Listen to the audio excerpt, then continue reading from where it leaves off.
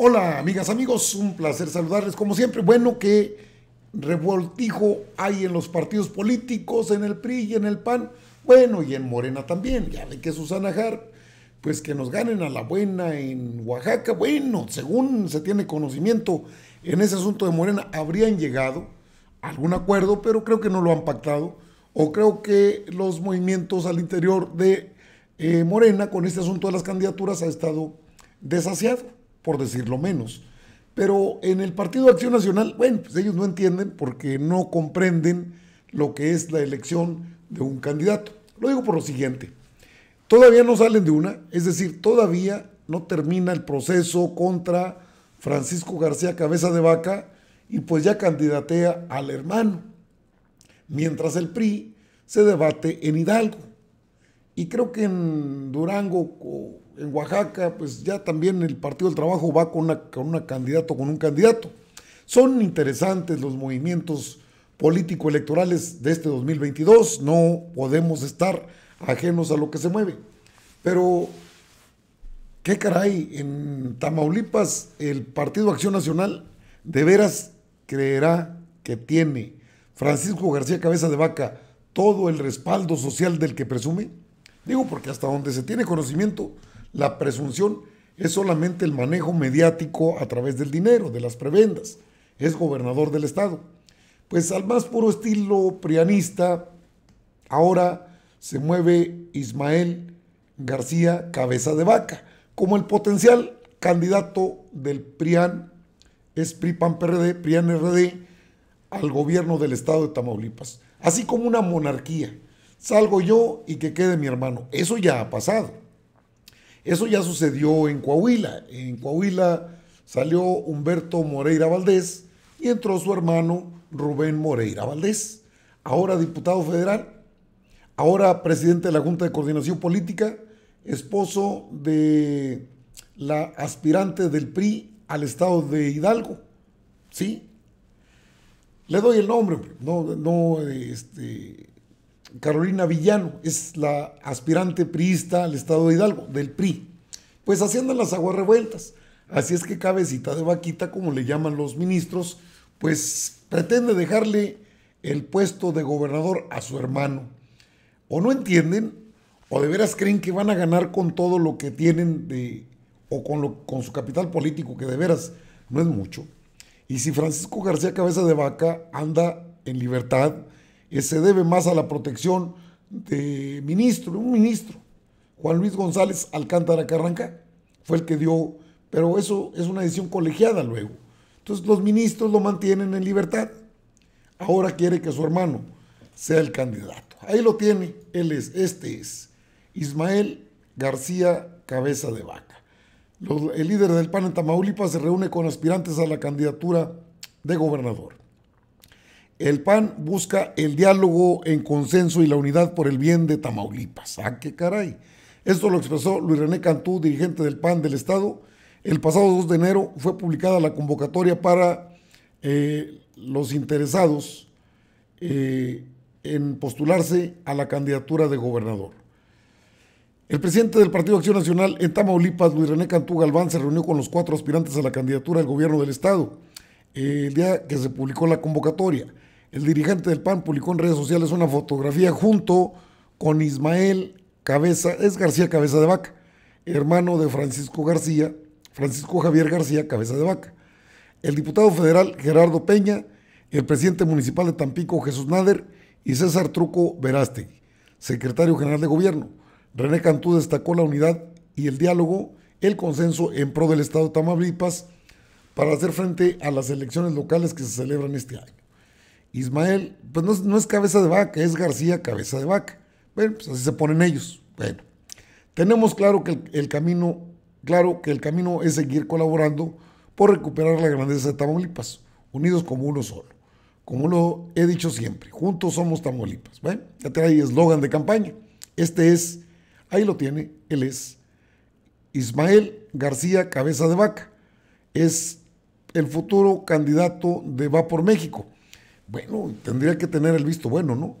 Eh, los cuatro aspirantes buscarán representar la coalición opositora Va por México conformada por el PAN, el Partido Revolucionario Institucional y el Partido de la Revolución Democrática. Morena, Morena reveló el pasado 23 de diciembre de 2021 que el senador Américo Villarreal Anaya fue el electo para representar al partido para contender por la gubernatura de Tamaulipas.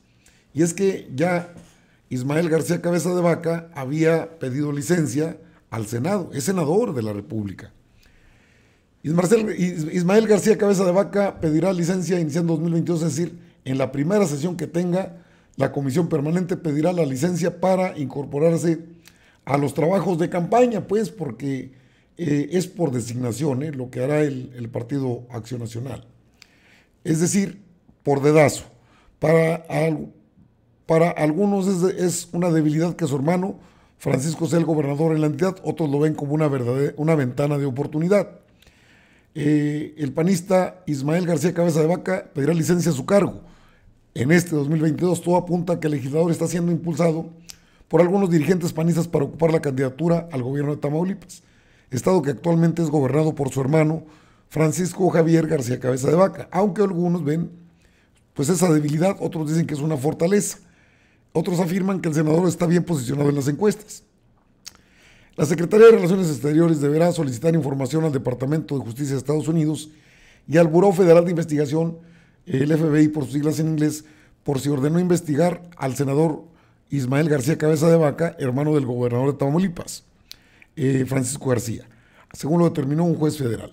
El presidente nacional de Morena, Mario Delgado, presentó a los seis aspirantes, bueno, esto ya es de lo que Américo Villarreal sería el eh, contendiente. Eh, el PAN pues, emitió su convocatoria para personas interesadas en ser candidatos a gobernador. Esto fue el día 2 y hasta el 10 de febrero vence el plazo para designar al candidato o candidata. Eh, la documentación en las oficinas del partido ubicado en Ciudad Victoria.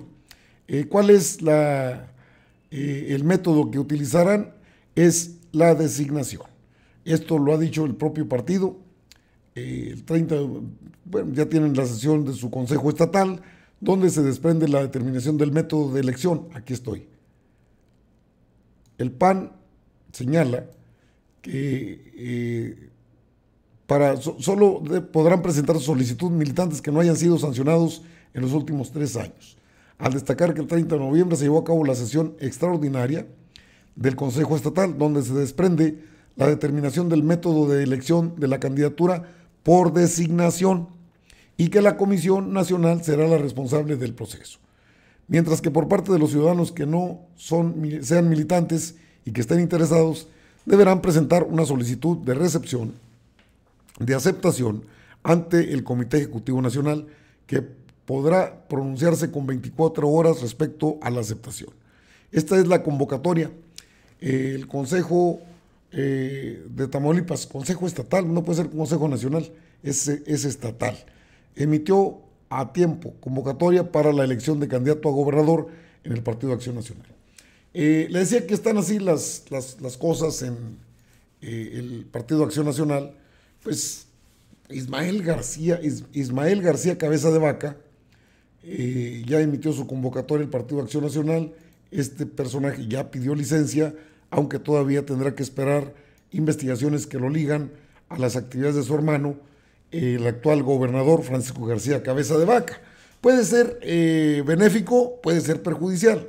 Creo que lo que vale la pena señalar, eh, bueno, este, este senador se ha visto envuelto en escándalos aunque pocos se han ventilado públicamente, porque le dan más importancia a esto que ni a López Rabadán, a lo que dicen sus dirigentes. La, este, la realidad es que el líder estatal del PAN en Tamaulipas prácticamente ha dado la destapada a Ismael García Cabeza de Vaca.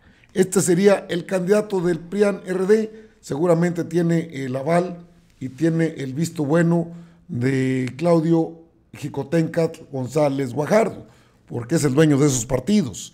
Eh, ahora bien, en ese contexto, sí, es cierto, Susana Harp en Morena pide que en Oaxaca, el, el doctor Enríquez en Durango también trae sus movimientos. Tiene derecho, estos son tiempos inéditos. Pueden estar inconformes y pueden mostrar su inconformidad.